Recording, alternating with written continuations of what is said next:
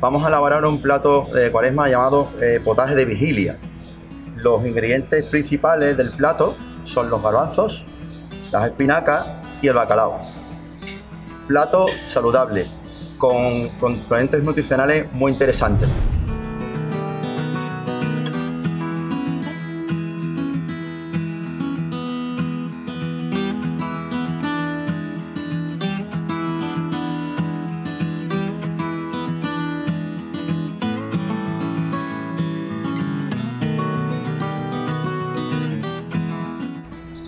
Vamos a ir metiendo los garbanzos aquí.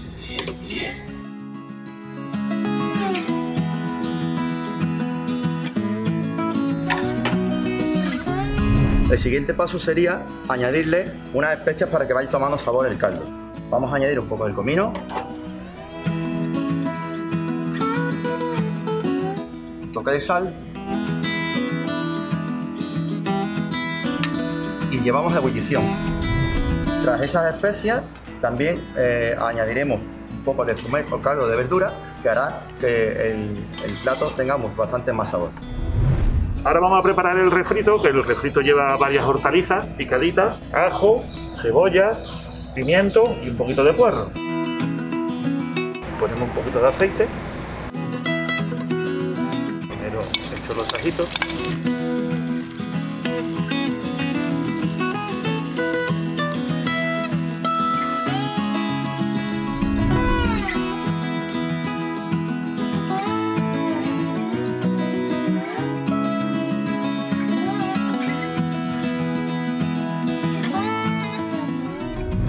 Una vez que la tenemos rogada, que está blandita, la vamos a pasar a un recipiente y vamos a triturarla.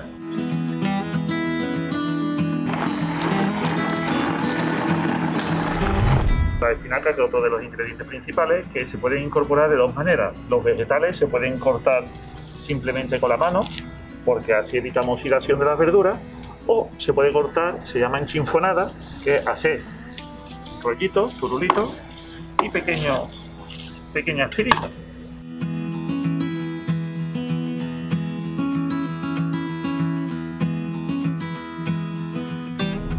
Vamos a utilizar para esta receta un bacalao fresco, ¿vale? Podríamos utilizar un bacalao también salado, en este caso lo, vamos a tener fresco. Le vamos a hacer un corte en unas tiras eh, anchas para poder después distribuirla en la cazuela.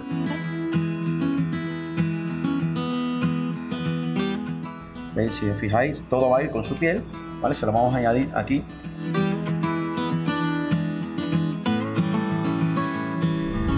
Por último vamos a añadir el refrito que teníamos, que lo hemos triturado bien, lo hemos dejado bastante fino. Pues ese refrito se lo vamos a añadir al caldo, lo vamos a hervir durante 2-3 minutos y terminaremos el plato.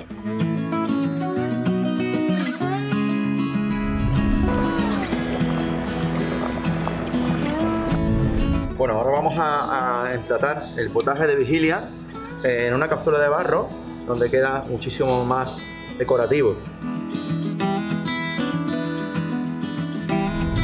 Todo potaje de vigilia, de cuaresma, lleva huevo duro, que previamente lo hemos cocido y lo hemos pelado, cortado a cuartos.